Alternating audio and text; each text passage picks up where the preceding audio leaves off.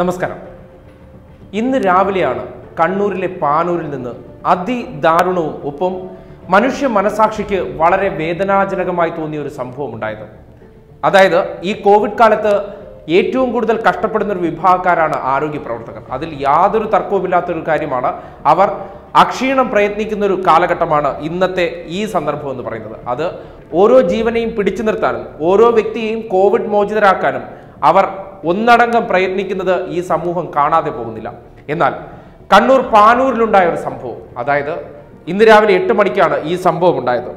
അതായത് Panoor P H S സിയുമായി ബന്ധപ്പെട്ടാണ് ഒരു ഡോക്ടറുടെ വലിയൊരു അലംഭാവം ഒരു ജീവൻ നഷ്ടപ്പെടുത്താൻ സാഹചര്യമൊരുക്കുന്നു അതായത് പാനൂർ മാണിക്കോട് സ്വദേശിയായ സമീറ എന്ന യുവതിക്കാണ് അവരുടെ കുഞ്ഞിനെ നഷ്ടപ്പെടുന്ന സാഹചര്യത്തിൽ ഒരു ഡോക്ടറിന് പങ്കുണ്ട് എന്നുള്ള ആരോപണം വളരെ ശക്തമായി നിലനിൽക്കുന്നത്. രാവിലെ ഇവർക്ക് ദേഹാസ്വാസ്ഥ്യമുണ്ടാകുന്നു ഇവരുടെ ഭർത്താവായ Hanifa Panoor P H S ഡോക്ടറെ വിവരമറിയിക്കുന്നു. എന്നാൽ കോവിഡ് കാലമായതിനാൽ പുറത്തു വന്ന് നോക്കാൻ കഴിയില്ല എന്ന് ഒരു മനസാക്ഷിയുമില്ലാതെ ഈ ഡോക്ടർ പറയുന്ന ഒരു സാഹചര്യമുണ്ടായി.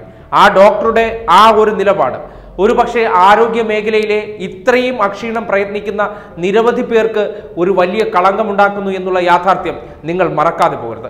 ആതുര സേവന രംഗത്ത് ഇത്തരം പ്രവർത്തനങ്ങൾ നിങ്ങൾ കാണിക്കുന്നത് നിങ്ങൾക്ക് തന്നെ വലിയ തിരിച്ചടിയാകുമെന്ന് ആ കാണിച്ച ഡോക്ടർ ആരാണോ അവർ മനസ്സിലാക്കേണ്ട സന്ദർഭമാണ്.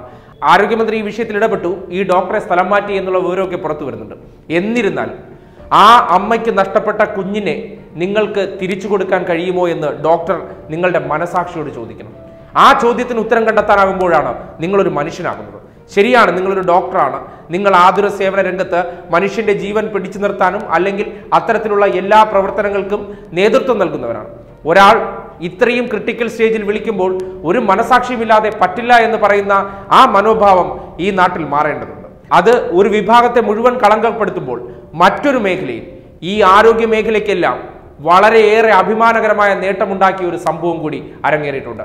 ഈ സന്ദർഭത്തിൽ ഈ ഡോക്ടർ മനസ്സിലാക്കാൻ അത്തരത്തിൽ ഡോക്ടറുടെ അസാന്നിധ്യത്തിൽ തിരുവനന്തപുരം ജില്ലയിലെ ഒരു പി എച്ച് എസ് സിയിലെ ആശാവർക്കറായ ജൈനയും ഒപ്പം പാലിയേറ്റീവ് കെയർ നഴ്സായ സന്ധ്യാഘോഷം ചേർന്ന് ഒരു സ്ത്രീക്ക് മൊബൈൽ വെട്ടത്തിൽ പ്രസവം എടുത്തൊരു സംഭവം നമ്മുടെ നാട്ടിലുണ്ടായി. ഒരുപക്ഷെ അഭിമാനകരമാണ് നേട്ടം.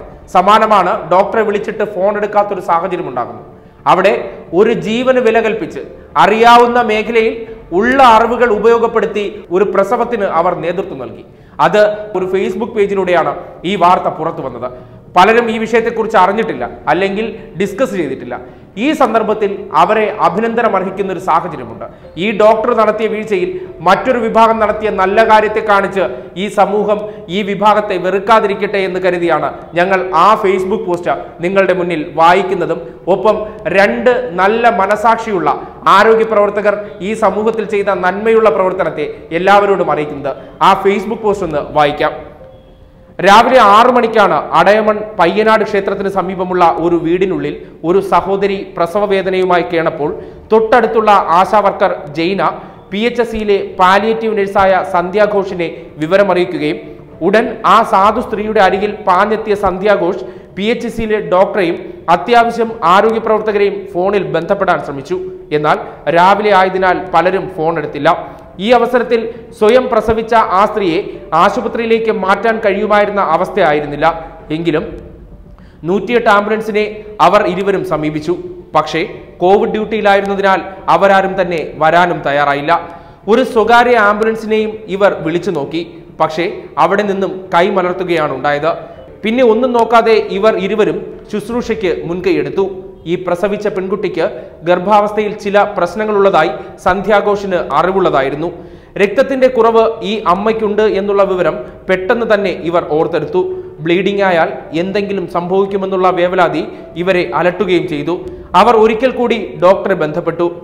നിർഭാഗ്യം ഡോക്ടർ വീണ്ടും ഫോൺ എടുത്തില്ല ജൈനയും സന്ധ്യയും ഒട്ടും മടിക്കാതെ പൊക്കുൾ കൊടി എടുക്കാനും പ്ലാസന്റ് എടുക്കാനും തയ്യാറായി.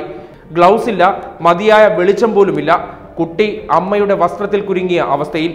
വസ്ത്രത്തിന് നൂൽ മുഴുവൻ കുട്ടിയുടെ ശരീരഭാഗങ്ങളിൽ കുടുങ്ങിയ അവസ്ഥയിലായി.